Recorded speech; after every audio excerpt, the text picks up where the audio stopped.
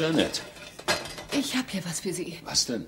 Das Gericht hat zwar Donnys Unterlagen über Forner kassiert, aber nicht das Material, das sie schon über Sie hatte. Da sind interessante Sachen drin.